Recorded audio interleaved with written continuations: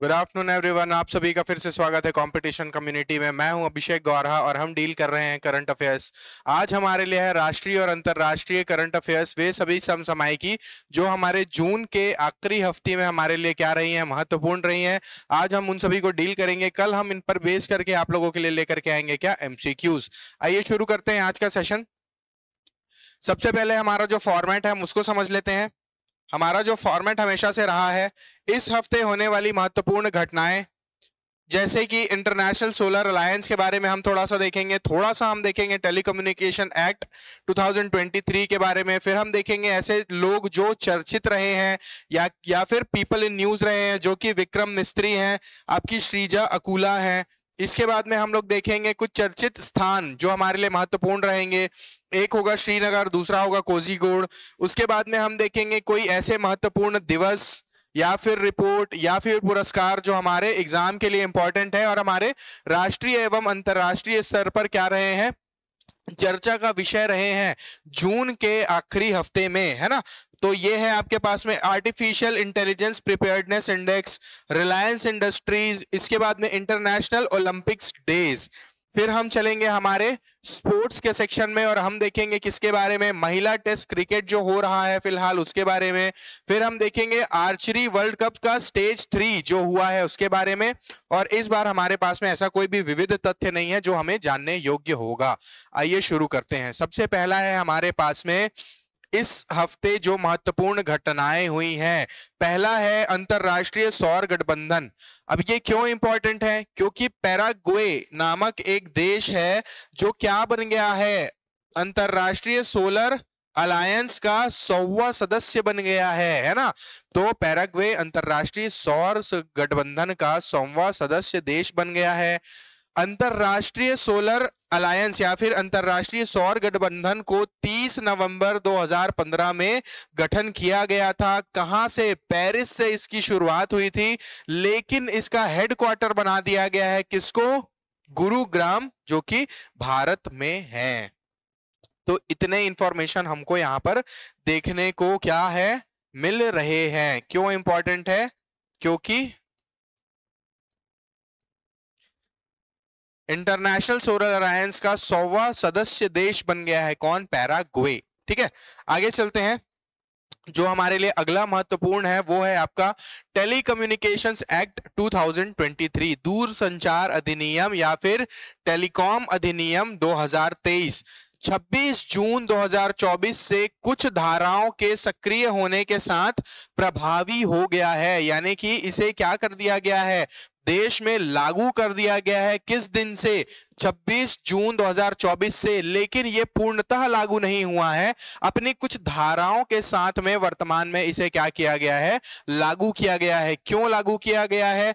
दूर संचार सेवाओं और दूर संचार नेटवर्क के विकास, विस्तार और संचालन से संबंधित कानून को संशोधित और समेकित करने के लिए उसके बाद में स्पेक्ट्रम के आवंटन से संबंधित और उससे जुड़े या उसके अनुसंगिक मामले के लिए अधिनियम इसे बनाया गया है the amend uh, the act is to amend and consolidate the laws relating to development expansion development expansion and operation of telecommunication services development, expansion, operation of telecommunication services and telecommunication network assignment of spectrums and matters connected therewith और incidental to, है ना?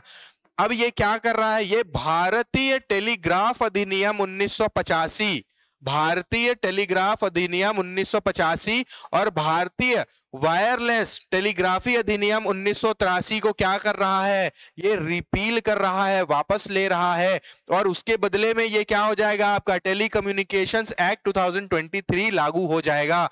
बहुत important है। इसके बारे में क्या सत्य है? ये आप लोगों से पूछा जा सकता है। इसे लागू किया गया है कब से?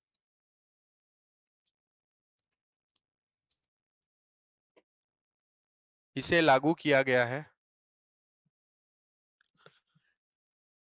तो इसे लागू किया गया है, कब से लागू किया गया है? 26 जून 2024 से इसे लागू कर दिया गया है। कब से?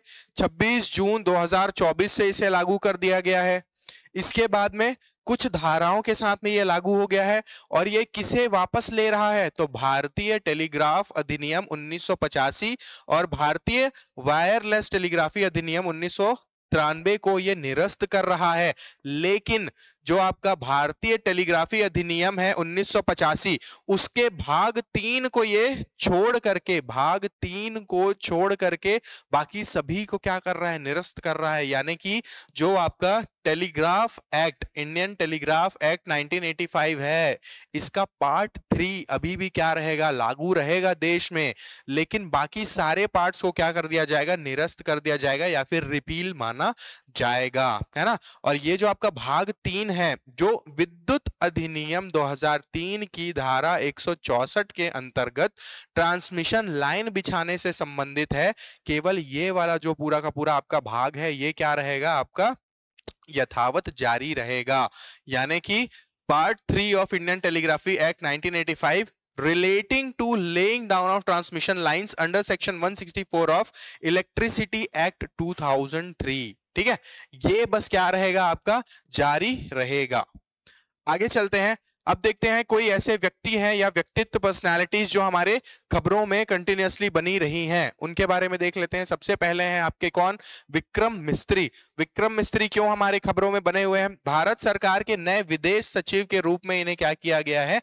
नियुक्त किया गया है। वर्तमान में ये डिप्टी एनएसए है, नेशनल सिक्योरिटी एडवाइजर हैं। डिप्टी एनएसए हैं कौन? विक्रम मिस्त्री, जिन्हें क्या किया गया है? आपका foreign secretary government of India के रूप में नियुक्त किया गया है। दूसरी जो हमारी व्यक्ति हैं, उनका नाम है श्रीजा अकूला। ये इंडियन टेबल टेनिस की प्लेयर हैं। आपसे पूछा जा सकता है, श्रीजा अकूला कौन से खेल से संबंधित हैं? तो आपका ऑप्शन नंबर ये हो जाएगा। मतलब ये हो जाएगा आपका कौन सा? इंडियन टेबल टेनिस प्लेयर हैं ये। और ये क्या बन गई है? विश्व table tennis contestant single contender माफ़ कीजिएगा, यहाँ पर कुछ त्रुटि है। She became the first Indian table tennis player who clinched the title of World Table Tennis Contended Singles. World table tennis का जो टूर्नामेंट हुआ था उसमें कंटेंडर सिंगल्स की एक क्या होती है कैटेगरी इवेंट होती है इस इवेंट में पार्टिसिपेट किया किसने श्रीजा अकूला ने और इन्होंने क्या लिया, क्या हासिल कर लिया है? इन्होंने स्वर्ण पदक हासिल कर लिया है और ऐसा करने वाली ये पूरे भारत की एकमात्र टेबल टेनिस प्लेयर बन गई हैं पूरे महिला और पुरुष सभी वर्गों में। ये जो आपका वर्ल्ड टेबल टेनिस का जो चैंपियनशिप था, ये कहाँ आयोजित कराया गया? ये लागोस, जो कि कहाँ पर है? नाइजीरिया में। यहाँ इसका क्या कराया गया? आयोजन कराया गया। अगला हम देखते हैं, क्या हमारे पास में कोई ऐसे स्थान है जो चर्चित रहे हैं इस हफ़्ते हमारे लिए, यानी कि जून के आखिरी हफ़्ते में? तो बिल्कुल, हमारे पास में सबसे पहला श्रीनगर। और श्रीनगर हमारे लिए क्यों महत्वपूर्ण है? क्योंकि यह विश्व शिल्प परिषद द्वारा विश्व शिल्प शहर घोषित किया गया है, यानी कि Srinagar has been declared as world craft city world craft city by world craft council तो वर्ल्ड क्राफ्ट काउंसिल के द्वारा क्या घोषित किया गया है इसे? वर्ल्ड क्राफ्ट सिटी बना दिया गया है और ये वर्ल्ड क्राफ्ट सिटी बनने वाला भारत का चौथा शहर बन गया है। इसके पहले मैसूर मल्लपुरम जयपुर को भी क्या दिया जा चुका है? ये आपका जो विश्व शिल्प परिषद है, इसके द्वारा विश्व शिल्प शहर बनाया जा चुका है। तो आप लोगों से यहाँ से स्टेटमेंट वाले क्वेश्चन बनेंगे कि श्रीनगर को विश्व शिल्प शहर के रूप में घोषित किया गया है। यह भारत का कौन से क्रम का शहर है जिसे इस रूप में घोषित किया गया है? किसके द्वारा किया गया है? कब किया गया है? ये सब चीज़ें आप लोगों के लिए क्या हो जाती हैं? महत्वपूर्ण हो जाती हैं। आगे चलते हैं कोजीगोड़ अब कोजीगोड़ हमारे लिए क्यों इंपॉर्टेंट है? क्योंकि ये भारत का पहला यूनेस्को साहित्य शहर घोषित किया गया है। यानी कि Kozhikode has been declared as India first UNESCO city for literature UNESCO city for literature और ये पूरे भारत का पहला शहर है जिसे क्या घोषित किया गया है? साहित्य का शहर घोषित किया गया है यूनेस्को द्वारा। कोजीगोड यह मान्यता पाने वाला दक्षिण एशियाई दूसरा शहर बन गया है। पूरे अगर हम साउथ एशिया की बात करें तो ये सेकंड शहर है या फिर सेकंड सिटी है, जिसे ये घोषित किया गया है क्या? City of literature by UNESCO it is the birth place of Malayalam language very very very important दुनिया की प्राचीनतम भाषाओं में से एक मलयालम भाषा, जो द्रविड़ शैली की भाषा है, उसकी जननी माना गया है किस स्थान को? कोजी गोड़ को, है ना? और इसी के माध्यम से इसे इसका जो वर्तमान स्वरूप है, वो मिल गया है क्या? यूनेस्को का सिटी ऑफ़ लिटरेचर। आगे चलते हैं। क्या हमारे पास में कोई महत्वपूर्ण दिवस या रिपोर्ट या फिर पुरस्कार हैं तो बिल्कुल हमारे पास में कुछ रिपोर्ट्स हैं, जिनको हमें देखना है। कुछ हमारे पास में महत्वपूर्ण ऐसे दिवस हैं, जिन्हें हम हर वर्ष क्या करते हैं, मनाते हैं। तो सबसे पहला है, बहुत ज़्यादा इंपॉर्टेंट आपके हर एग्ज़ाम के लिए, चाहे वो छत्तीसगढ़ से समर्पित एग्ज़ाम हो, संबंधित एग्ज़ाम हो, चाहे वो राष्ट्रीय, अंतर्राष्ट्रीय किसी भी संबंधित एग्ज़ाम हो, ये आप लोगों के लिए बहुत ज़्यादा इंपॉर्टेंट है। Artificial intelligence preparedness index. Artificial intelligence की तैयारी सूचकांक जारी की गई है अंतरराष्ट्रीय मुद्रा कोष, यानी कि इंटरनेशनल मॉनिटरी फंड के द्वारा। और ये क्या करता है? It measures the preparedness of 174 countries for use of AI मतलब यह एआई के उपयोग के लिए एक सौ चौहत्तर देशों की तैयारी को मापता है। भारत ने इसमें बहत्तरवा स्थान प्राप्त किया है, सेवेंटी रैंक में है। और जबकि जो टॉप फोर कंट्रीज़ हैं, वो हैं आपके सिंगापुर, डेनमार्क, अमेरिका, नीदरलैंड्स और एस्टोनिया टॉप फाइव है है ना? सिंगापुर, डेनमार्क, अमेरिका, नीदरलैंड्स और एस्टोनिया। भारत को कौन सा रैंक मिला है? तो भारत को बहत्तरवा रैंक मिला है। क्या माप रहा है ये कि हम कितने तैयार हैं? हमारी जो पारंपरिक पारंपरिक टेक्नोलॉजी है, उससे हम शिफ्ट करेंगे जो आर्टिफिशियल इंटेलिजेंस है, उसके लिए हम कितने तैयार हैं, ये यह इंडेक्स माप रहा है। सूचकांक ने देशों को तीन प्रमुख श्रेणियों में वर्गीकृत किया है। पहला है उन्नत अर्थव्यवस्थाएँ, दूसरी है उभरती अर्थव्यवस्थाएँ और तीसरा है कम आय वाली अर्थव्यवस्थाएँ। एक एक पॉइंट आप लोगों के लिए इंपॉर्टेंट है।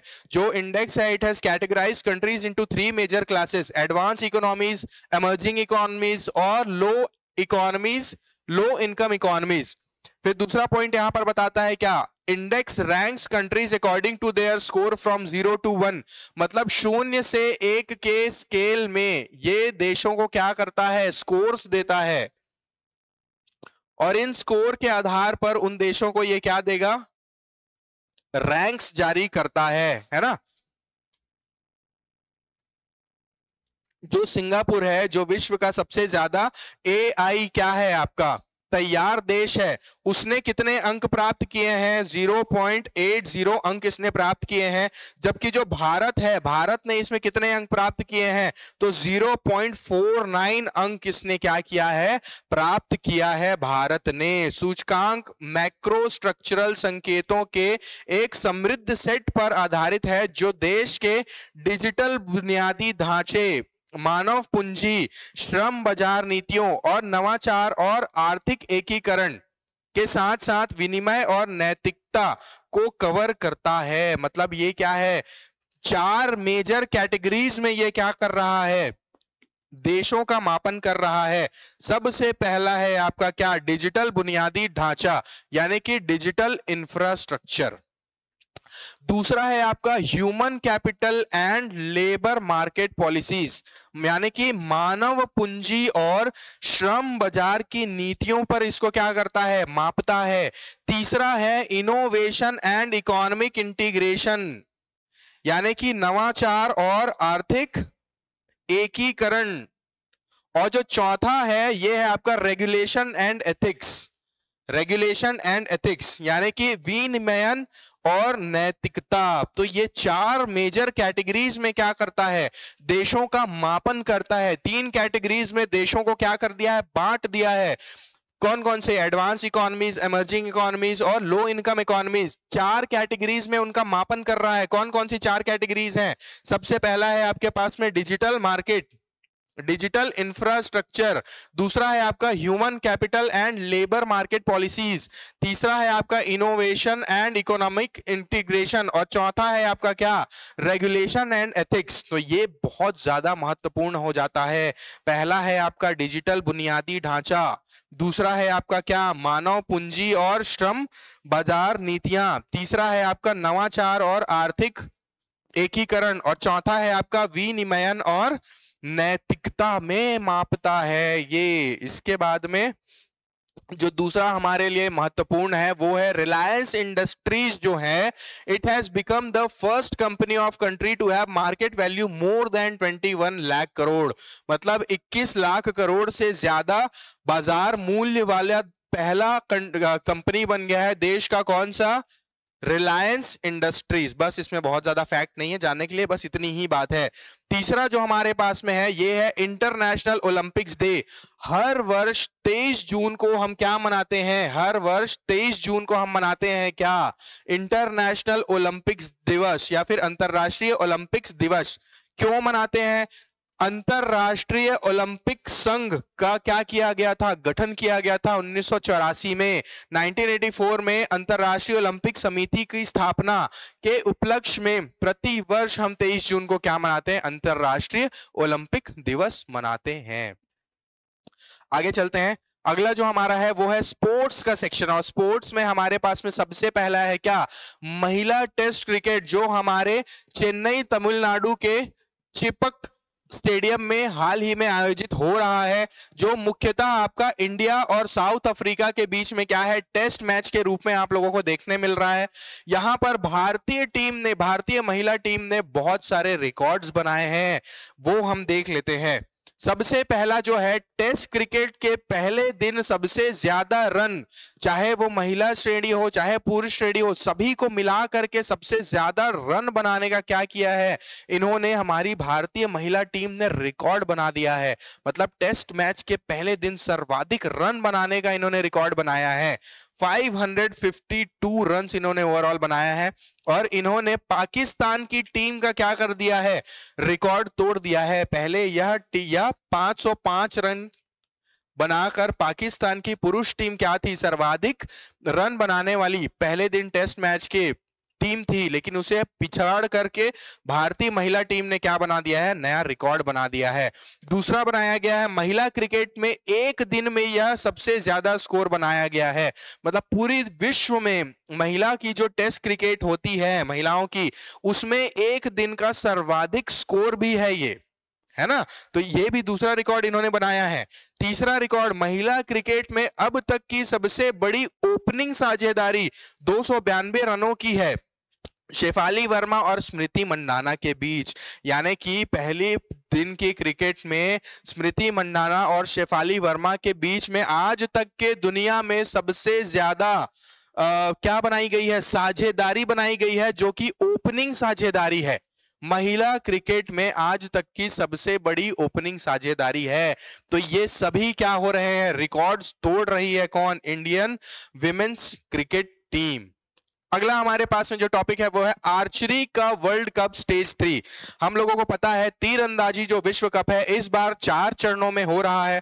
पहला चरण, दूसरा चरण कंप्लीट हो चुका है और वर्तमान में तीसरा चरण भी कंप्लीट हो गया है। और इन पूरे के पूरे तीनों चरणों में जो भारत की विमेन कंपाउंड टीम है, महिला कंपाउंड टीम जो रही है, इसने तीनों ही, तीनों इवेंट में क्या किया है?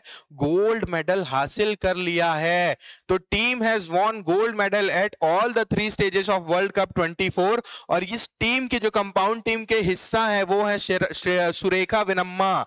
परनीत कौर और तीसरी Aditi Swami very very very important ये तीन शख्सियत ऐसे हैं जिनके ऊपर आप लोगों को अगले दो सालों तक कंटिन्यूसली क्वेश्चंस पूछे ही जाएँगे, क्योंकि ये भारत का आर्चरी के वर्ल्ड कप में सबसे बेस्ट परफॉर्मेंस है आज तक का। महिला कंपाउंड टीम ने continuously stage one stage two और स्टेज थ्री में क्या किया है? गोल्ड मेडल जीत लिया है, अपने आप में एक रिकॉर्ड बना लिया है। स्टेज थ्री में प्रियांशु ने भी क्या किया है? सिल्वर मेडल जीता है मेंस आर्चरी के इवेंट में। आगे चलते हैं। विविध तो यहाँ पर हमारा खत्म होता है। जून महीने जून महीने के अंतिम हफ़्ते में हुए वे सभी समसमायिकी जो हमारे राष्ट्रीय और अंतरराष्ट्रीय लेवल के लिए क्या रहे हैं ज़रूरी रहे हैं, उन सभी को हमने डील किया है। कल हम इन पर बेस करके आप लोगों के लिए एमसीक्यूज लेकर के आएँगे। तब तक हमारे चैनल पे बने रहेंगे, लाइक, शेयर, सब्सक्राइब करेंगे, बेल आइकन ज़रूर प्रेस करेंगे, ताकि हमारे वीडियोस आपसे मिस ना हो जाए। Thank you. अगर आप चाहते हैं अपने कैरियर को एक नई दिशा देना और सुनहरे भविष्य को साकार करना तो जुड़िए कंपटीशन कम्युनिटी के साथ। आज ही हमारे वेबसाइट के कैरियर पेज पर विज़िट करें अथवा डिस्क्रिप्शन बॉक्स पर दिए गए लिंक पर क्लिक करें। हमेशा आपके साथ टीम कोको